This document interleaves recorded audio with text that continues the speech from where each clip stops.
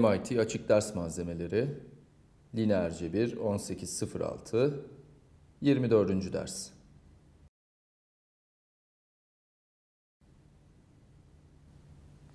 İki, bir ve tamam. Bugünkü dersimiz öz değerlerin kullanımı üzerine.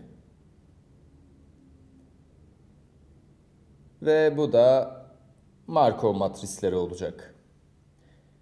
Bir Markov matrisinin ne olduğunu söyleyeceğim.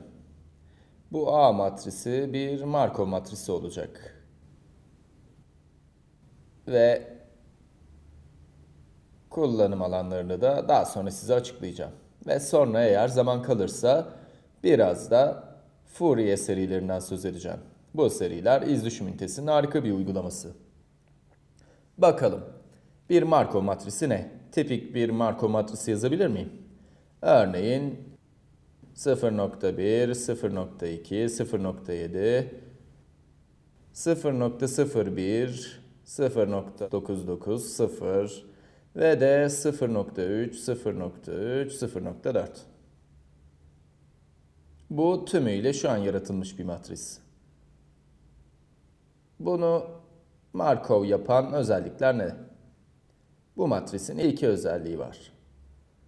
Bu iki özellik birincisi tüm elemanları sıfırdan büyük. Tüm elemanları sıfır veya sıfırdan büyük. Ve tabii ki matrisin karesini aldığımda elemanlar yine sıfıra eşit veya büyük olacak. Matrisin kuvvetleriyle ilgileneceğim. Ve sözünü ettiğim özellik hep geçerli olacak. Aslında göreceksiniz ki Markov matrisleri olasılık fikirlerine yakından bağlantılı ve olasılık değerleri hiçbir zaman negatif olamaz.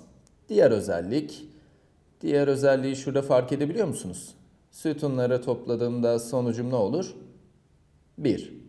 Demek ki bütün sütunların toplamı 1.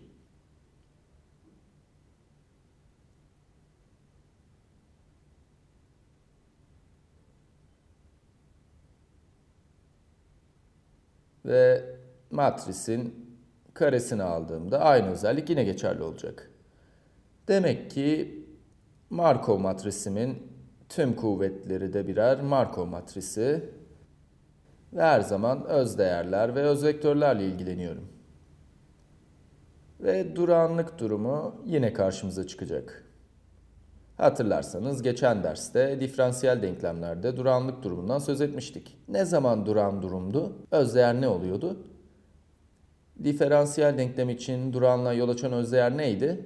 Bu değer lambda eşit sıfırdı. Hatırlıyor musunuz? Bir örnek yapmıştık ve örnekte özdeğerlerin birisi lambda eşit sıfırdı. Ve sonra bir e üzeri sıfır t'miz vardı.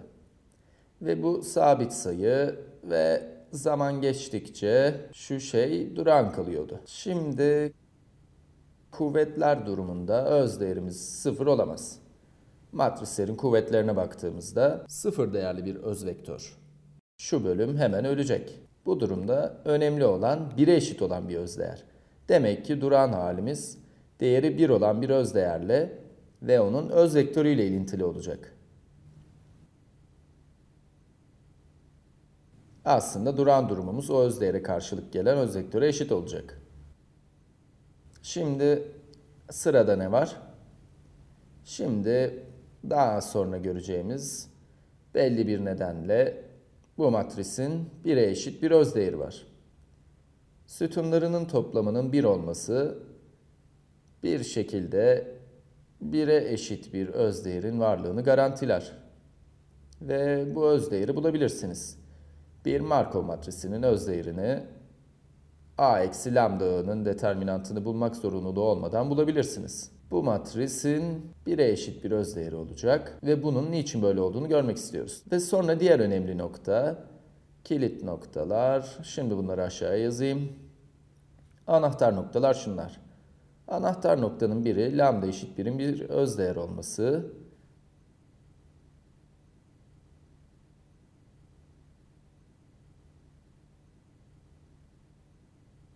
Ve şimdi bir şey daha ekleyeceğim. Öz değerlerle ilgili bir şey. İkinci anahtar nokta diğer öz değerlerin diğer öz değerlerin büyüklüğünün birden küçük olduğu mutlak değerleri birden küçük. Aslında bazı özel durumlarda öz değerlerden biri bir başka öz değerde 1'e eşit olabilir. Markov matrisinin birden büyük bir öz değeri olamaz. Bu iki özelliği doğrusal cebir bunu bize söylemeli. Ve tabii ki doğrusal cebir bize şunu da söyleyecek. Şunu yapınca hatırlarsınız. A'yı peş peşe kendisiyle çarptığımda K'nıncı seferde A üzeri K çarpı U sıfır elde ederiz. Ve şimdi sorun bununla ilgili özel olan ne? A'nın bu kuvvetleri ve mutlaka ki kısa sınavda size bilgisayar üzerinde A'nın birkaç kuvvetini hesaplamanızı isteyeceğim. Veya bunun bir başlangıç vektörüne uygulanmış halini genel hali hatırlıyor musunuz? Genel ifadede birinci özdeğerin K'nıncı kuvvetinin bir bölümü çarpı birinci öz vektör artı ikinci özdeğerin K'nıncı kuvvetinin bir bölümü ile ikinci öz vektör. Ve böylece sonuna kadar gideceğiz. Her derste rahat hissetmek için bunun komple bir öz vektör kümesini gerektirdiğini, öyle olmaması durumunda U0'ı öz vektörler cinsinden yazamayabileceğimizi hatırlatmak zorunda hissediyorum. Çünkü bu gerçekleşmezse başlamamız bile mümkün olmayabilir. Ancak k eşit 0 olduğunda u 0 ile başlayabiliyorsak sonrasında a'nın her bir kuvveti bu lambdaların birini verir. Ve şimdi duran durumun ne olacağını görebiliyorsunuz. Eğer lambda 1 1'e eşit olursa lambda 1'in k'nıncı kuvveti de 1'e eşit olur. Ve diğer özdeğerler de birden küçük olurlar. Orada bir şekilde denklemin üstünü çizdim. Ama elimizde şu terim vardı. Ancak bu terime ne oluyor? Lambdalar birden küçük olduğunda kuvvetlerini aldığımızda zaman içinde ilerlediğimizde bu sıfıra gider. Değil mi? Hazır üstünü çizmeye başlamışken bunu uzatabilirim. Bu terim ve bütün diğer terimler sıfıra gidecekler. Çünkü diğer tüm özdeğerler birden küçük ve yaklaşmakta olduğumuz duran durum sadece burada ne vardıysa bu, bu başlangıç şartının U0 kısmı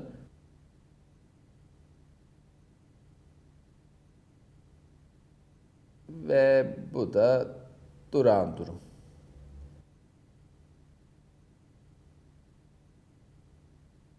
Bütün bunlar genel bilgi, yapmış olduğumuz şeyler.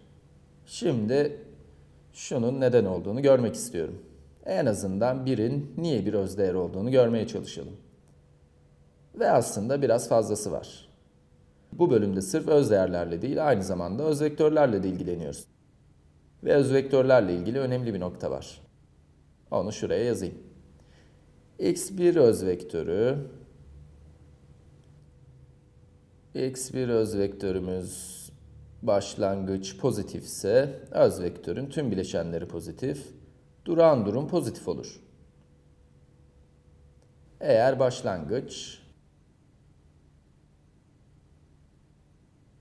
aslında genelde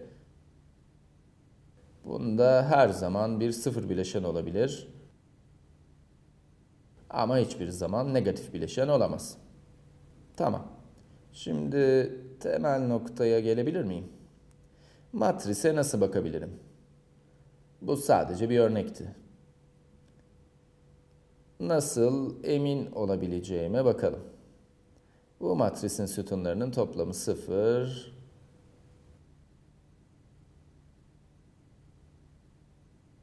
Ha, özür dilerim.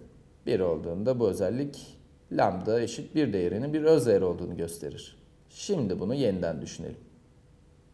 Şimdi söylemeye çalıştım. Şimdi yeniden A'ya bakayım. Ve eğer bir sayısının bir öz değeri olduğunu düşünüyorsam o durumda bir matrisini çıkartırım. Matrisimin ilgili elemanları eksi 0.9 eksi 0.01 ve eksi 0.6'ya dönüşür. Ve tabii ki diğer elemanlar oldukları gibi kalırlar.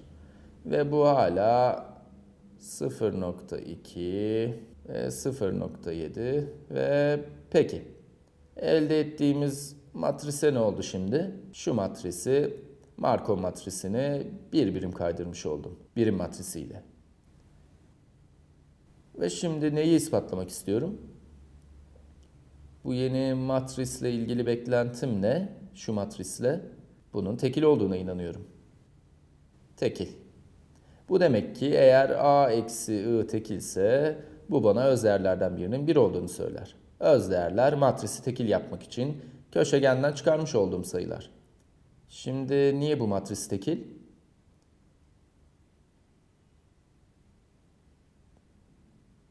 Tabii ki determinantını hesaplayabilirim. Ancak biz her Markov matrisi için işleyecek olan bir neden arıyoruz.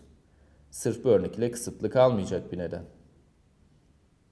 Bu matrisle ilgili ne söyleyebiliriz? Şimdi artık sütunlarına bakabilirsiniz. Toplamları ne? 0. Sütunların toplamı 0. Demek ki sütunlar Şimdi tüm sütunları tamamlayalım. A eksi I matrisinin tüm sütunlarının toplamı sıfır oluyor. Bunun A eksi tekil olduğu anlamına geldiğini görmek istiyorum şimdi.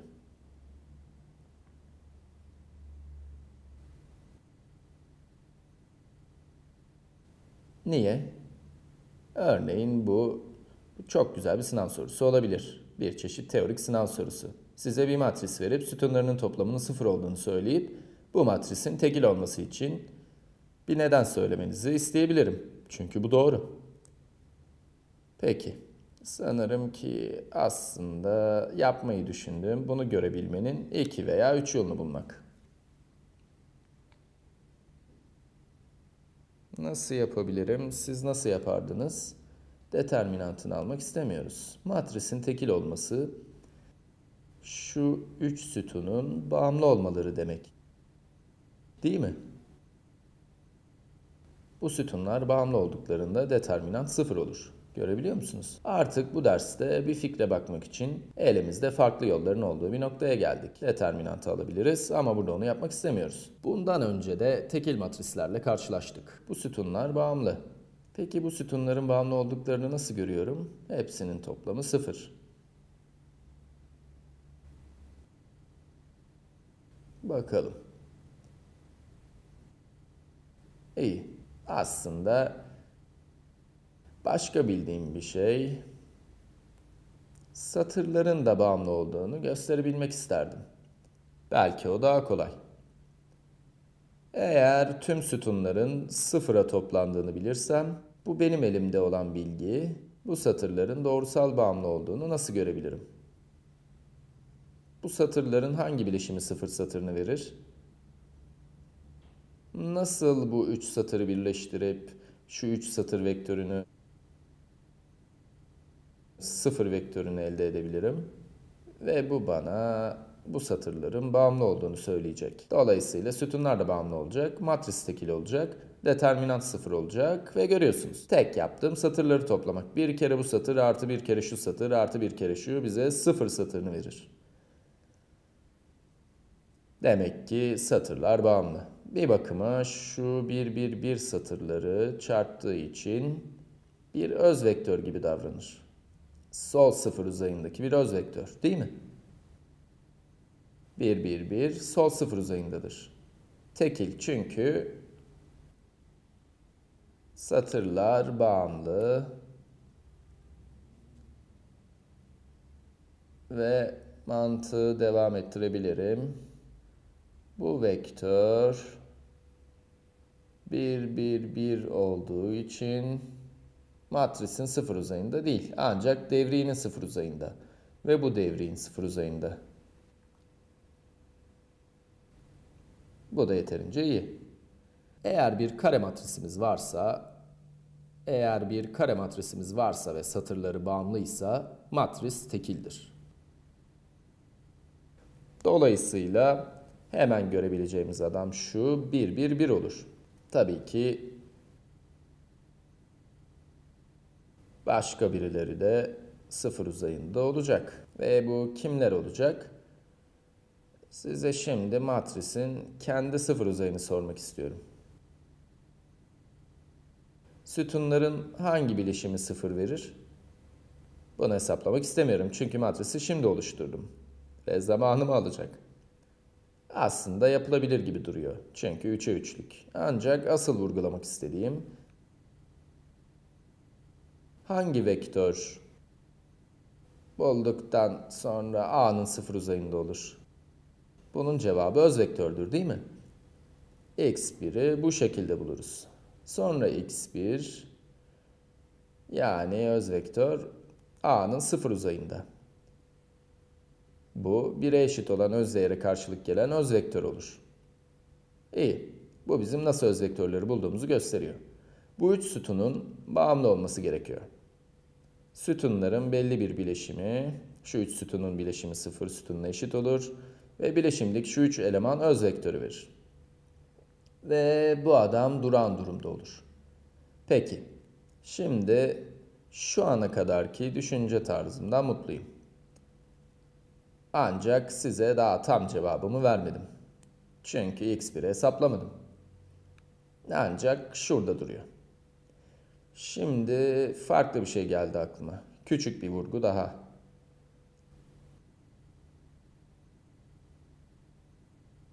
A ve A devrin öz değerleri ve öz vektörleri ile ilgili. Siz bana A'nın A ve A devrin öz değerleri için ne söyleyebilirsiniz?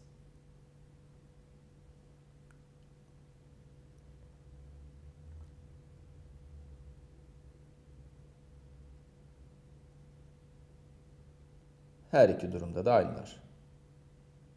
Öyleler. Küçük bir noktayı belirteyim. Ancak oldukça kullanışlı. Çünkü öz değerleri bulmak o kadar da kolay değil. Bunların geçerli olduğu birkaç durumu bilmekte yarar var. Örneğin A'nın özdeğerini biliyorsam A devrinkini de biliyorsun demektir. Çünkü A devriğin özdeğeri A'nınkilere eşit.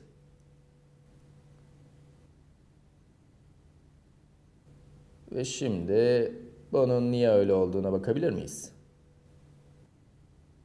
A'nın öz değerlerini bulmakla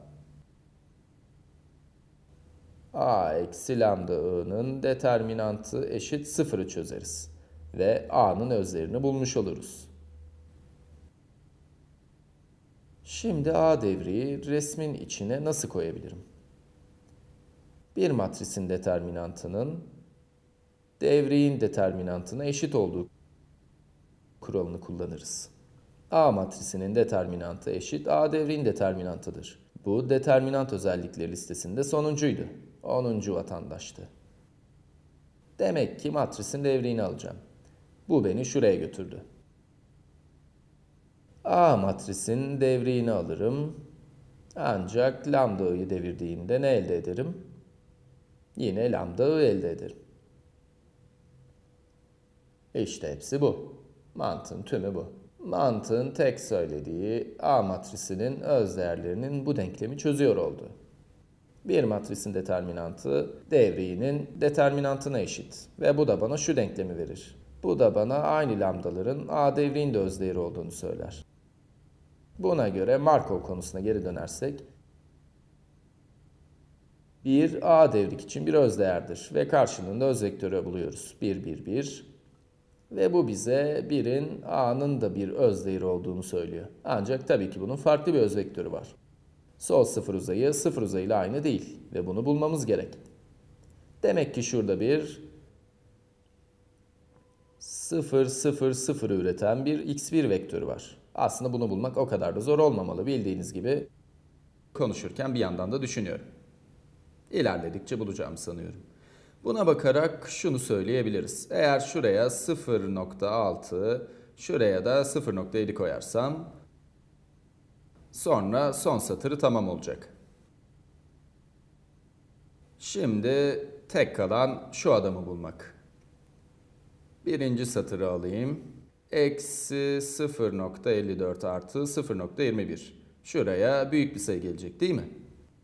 Demek ki ilk satırın sıfır olmasını sağlamam gerek. Elimde eksi 0.54 artı 0.21 var.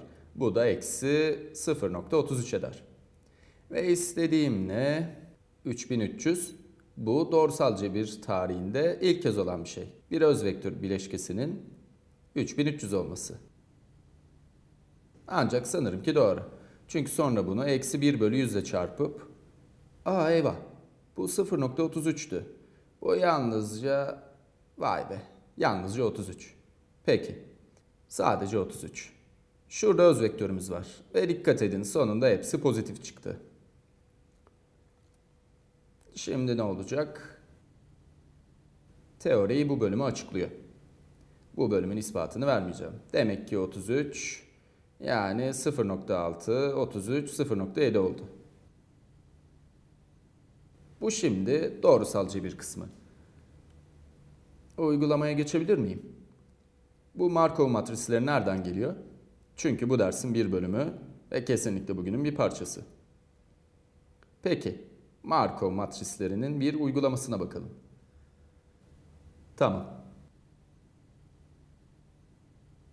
Markov matrisleri üstünde durup çözmeye çalıştığım denklem U K artı 1 eşittir A U K denklemi. A bir Markov matrisi. A Markov. Ve bir örnek vermek istiyorum. Bir örnek üretebilir miyim? İki ikilik bir örnek. Ve daha önce de kullanmış olduğum bir örnek. Çünkü fikri ortaya çıkardığımı düşünüyorum. İki ikilik bir matris olduğunda iki şehrimiz olsun. Örneğin Kaliforniya ve Massachusetts. Ve bu bölgedeki nüfusa bakıyorum. Bu iki bölgede yaşayan insanlara.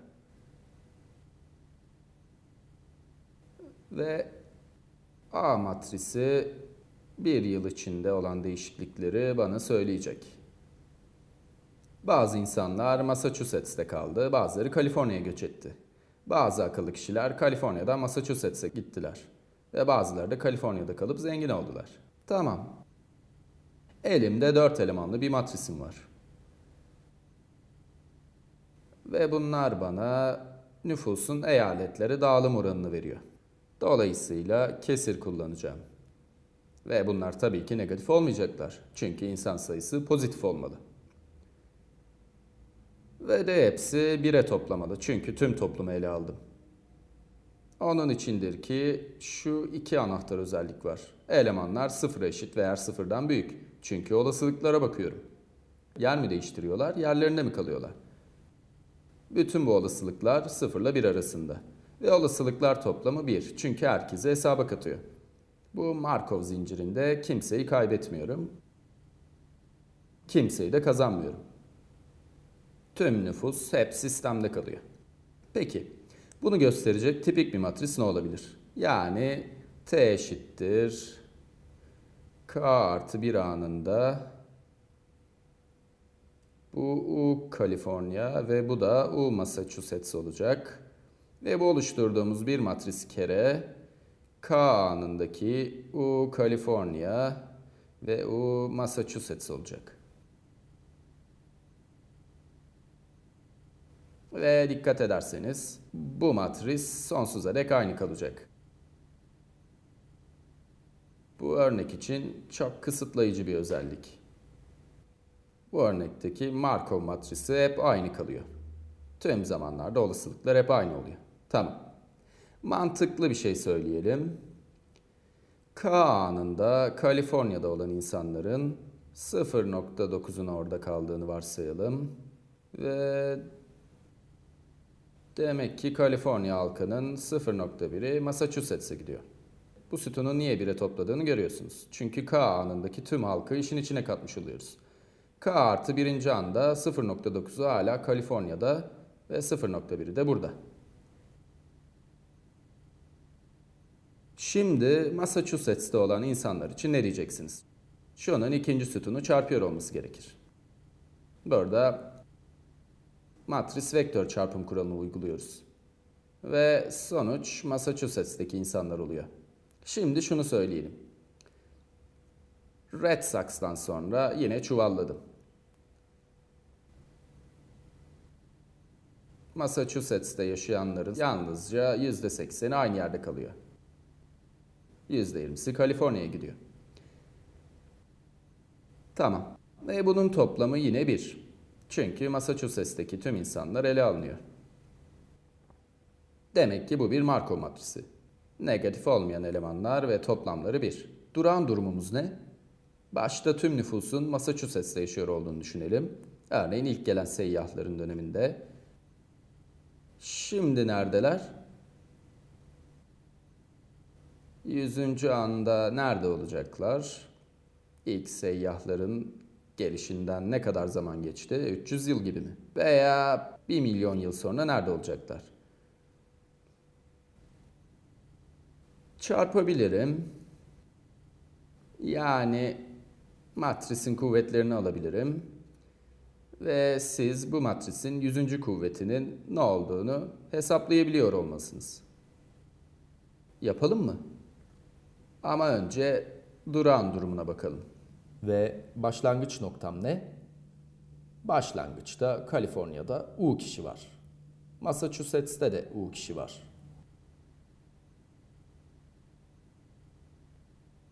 En başta Kaliforniya'ya birilerini koyalım mı? Şurasını sıfır yapalım ve Mas'ın nüfusunun bin kişi olduğunu varsayalım.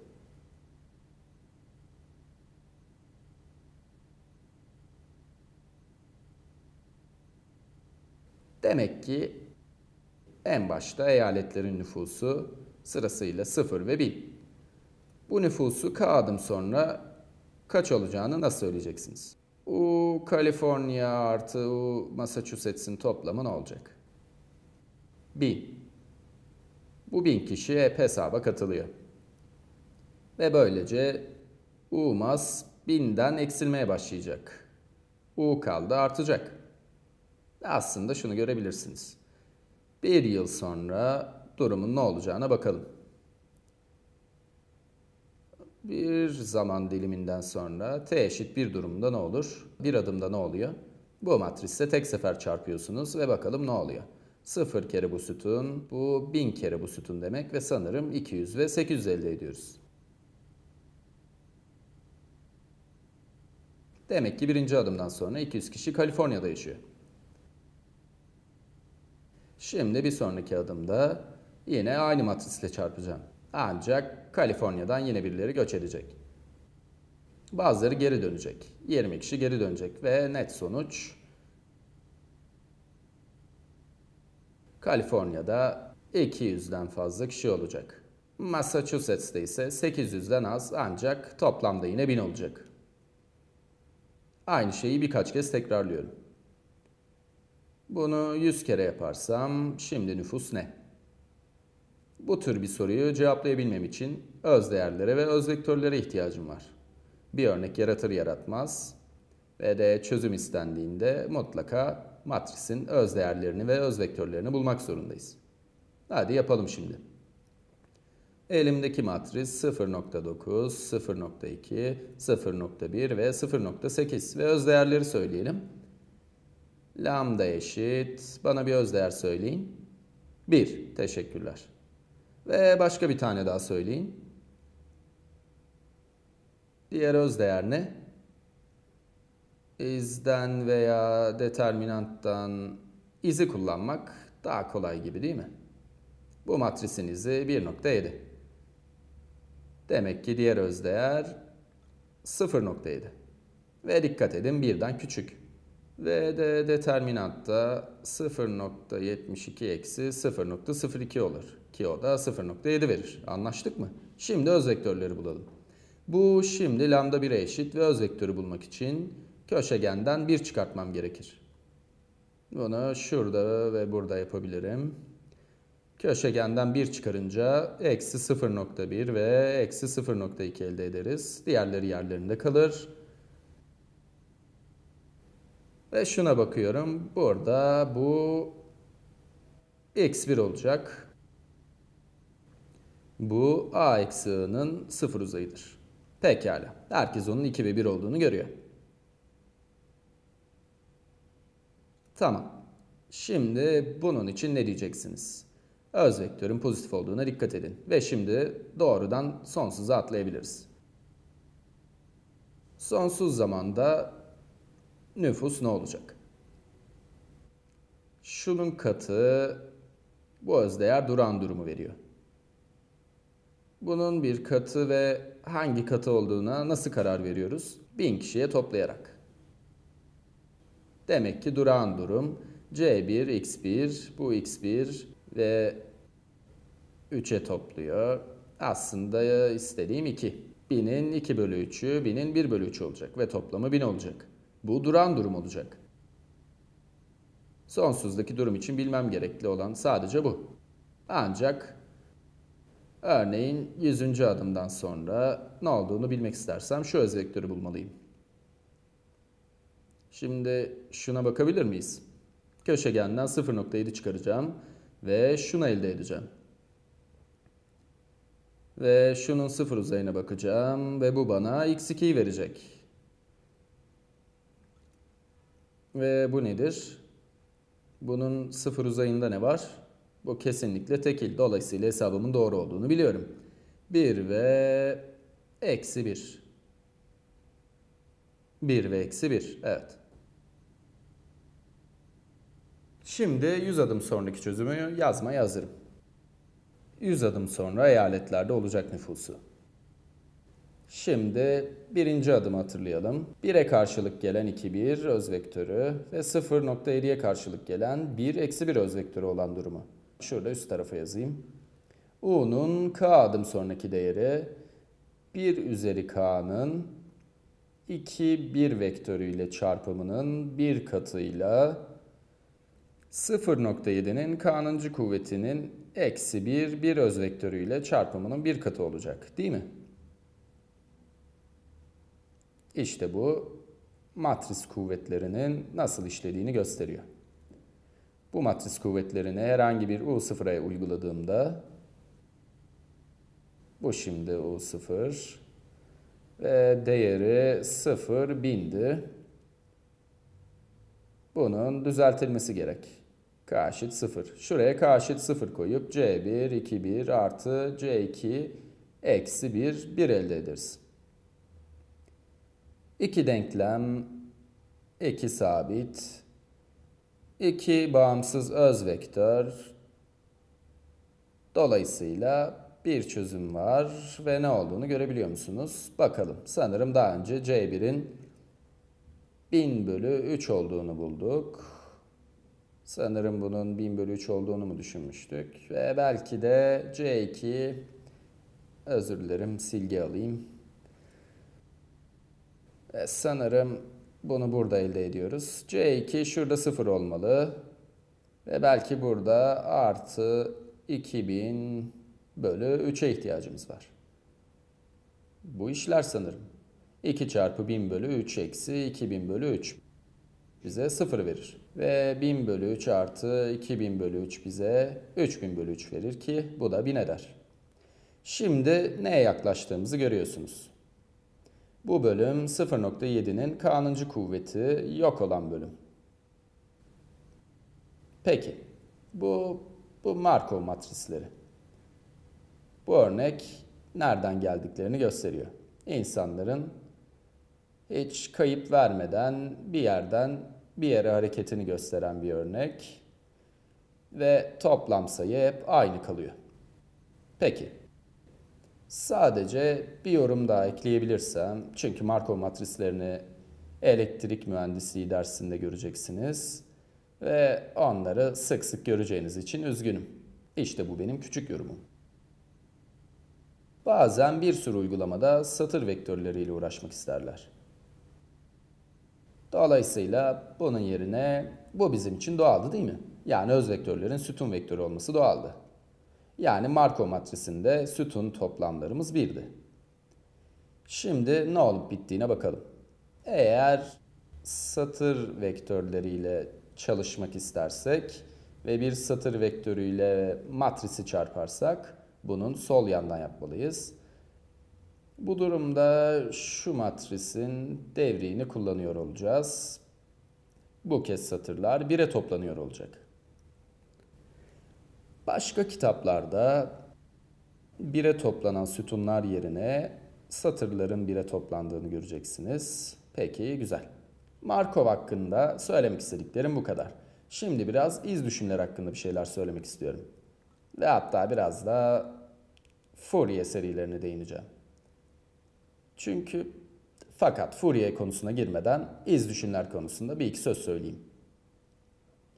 Bu şimdi iz düşümlerle ilgili bir nokta.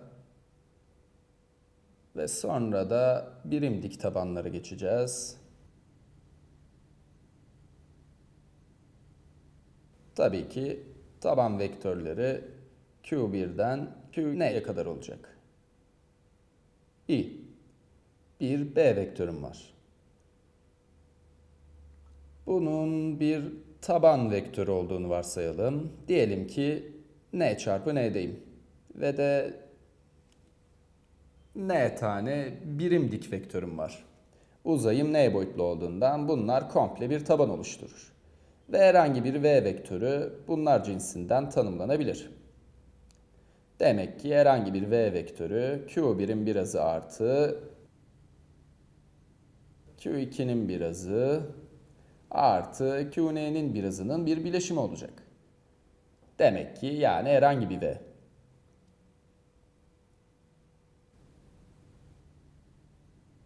Şimdi bana bu birazların ne olduğunu söylemenizi istiyorum. x1'ler ne? Yani x1 ne? Yani bir açılım arıyorum. Bu, bu gerçekte bizim iz düşümümüz. Aslında bunun için açılım kelimesini kullanabilirim. Bu vektörü taban cinsinden yazıyorum. Ve bu tabanın özelliği birim dik olması. Demek ki bu bana çözüm için özel bir formül yaratmalı. Katsayılar için.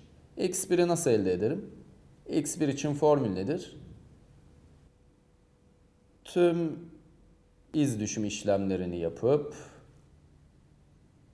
bu Q devrik Q bütün bunlar normal denklemler ama sonunda bu şık sonucu elde edeceğim. Bunu aslında hemencecik görebilirim. X1'i nasıl elde edebilirim? Ve bu diğer x'leri nasıl denklemin dışına atabilirim? Yani x1 için nasıl şık ve basit bir formül elde edebilirim? Ve sonra şunu görmek istiyoruz. Aslında baştan beri bildiğimiz bir şey. Peki, yani x1 ne? Bulmanın güzel yolu her şeyin Q1 ile iç çarpımını almak. Tüm bu denklemin her bir terimin Q1 ile iç çarpımını almak. Son terim ne olacak? İç çarpım Q1 ile skaler çarpımını aldığımda sonuç 0 olur. Çünkü bu taban birim dikti. Q2 ile de skaler çarpımını aldığımda sonuç 0 olur. Q1 ile skaler çarpımı aldığımda sonuç 1 olur. Bu da bana x1'in ne olduğunu söyler. Q1 devrik v. İşte bu skaler çarpımını almak demek. Bu x1 çarpı q1 devrik q1 artı bir sürü sıfırlar. Ve bu da bir adet 1. Demek ki bunu unutabilirim. Ve doğrudan x1 elde ediyorum. Ne dediğimi görüyor musunuz? Söylemek istediğim birim dik bir tabanın olduğunda her bir taban vektörünün katsayısını bulmak çocuk oyuncağı. Şimdi bu söylediklerimi matris dilinde söylemem gerek. Ve de bu şekliyle de göreceksiniz. Şu birinci denklemi matris dilinde yazarsam ne olur? Bu denklemi matris dilinde yazdığımda denklemin bana şu sütunları almamı söyler. Siz bu işi yeterince kavradınız mı? Bu sütunları alıp x ile çarpıp v'yi elde ediyorum. Değil mi? İşte bu matris formu. Tamam. İşte bu matris Q. Qx eşittir v. Bu denklemin çözümü ne? Tabii ki çözüm x eşit q ters v olur. Yani x q ters v'dir. Ancak buradaki önemli nokta ne? Q ters bu durumda kolayca bulunabiliyor. Q'nun tersini alma işlemleriyle uğraşmam gerekmiyor. Çünkü sütunlar birimdik. Bunların tersini biliyorum. Ters Q devriye eşit. O Q isimli matrisi gördüğünüzde Q kare matrisi olduğunda bunun hemen size Q tersin Q devrikle aynı olduğunu hatırlatması gerekir. Demek ki ilk bileşke X'in ilk bileşkesi birinci satır çarpı V olur. Ve bu nedir? Çözümün ilk bileşkesi Q devriğin birinci satırı olur. Bu sadece Q1 devrik çarpı V'dir. Burada da elde ettiğimiz sonuç aynıydı. Tamam. Buraya kadar Fourier ile ilgili bir şey yok. Buradaki anahtar veri Q'ların birimdik olmalarıydı. Fourier serilerinin dayandığı özellik de bu. Kalan zamanda Fourier serileriyle ilgili bir şeyler söyleyelim. Fourier serileri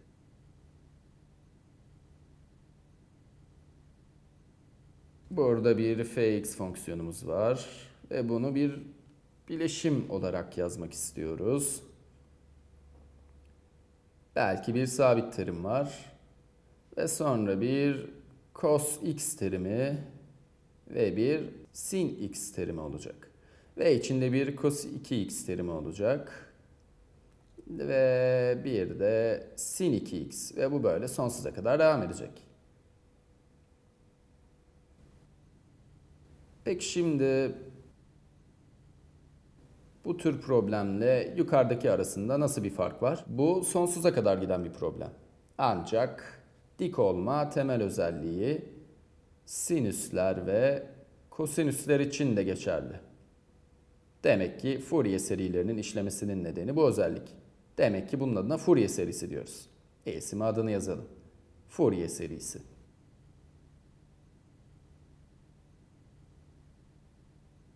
Demek ki fonksiyon uzayında çalışılabileceğini ilk fark eden Joseph Fourier'di.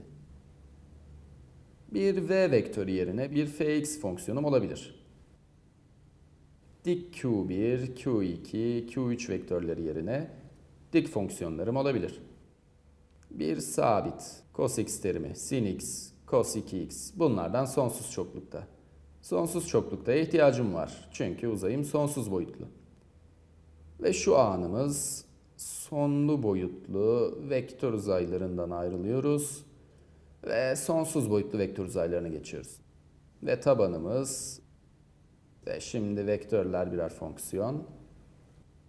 Ve o kadar çok fonksiyon var ki sonuçta sonsuz boyutlu bir uzayımız oluşuyor. Ve taban vektörleri de birer fonksiyon. A0 bir sabit fonksiyonu. Demek ki tabanım 1 cos x, sin x, cos 2x, sin 2x ve böylece devam eder. Ve Fourier serilerinin başarılı olması bunların dik olmasından olur. Peki şimdi dik demek ne anlama geliyor? İki vektörün dik olmasının ne olduğunu biliyorum. y devrik x eşittir 0 değil mi? Skaler çarpımı 0'a eşit. Peki fonksiyonların skaler çarpımı ne? Şunu iddia ediyorum. Skaler çarpımı ne olursa olsun veya daha çok iç çarpım kelimesini kullanacağız. Örneğin cos x ile sin x'in çarpımı 0 olmalı. Ve aynı şekilde cos x ile cos 2x'in çarpımı için de geçerli. Bu skaler çarpımından ne söylemek istediğimi açıklayayım. Bir skaler çarpımını nasıl hesaplıyorum? Vektörler için olanı hatırlayalım. V devrik W yapıyorduk. Bu vektörler içindi. Ve V devrik W eşittir. V1 W1 artı Vn Wn şeklinde tanımlanıyordu. Peki şimdi fonksiyonlara geçelim.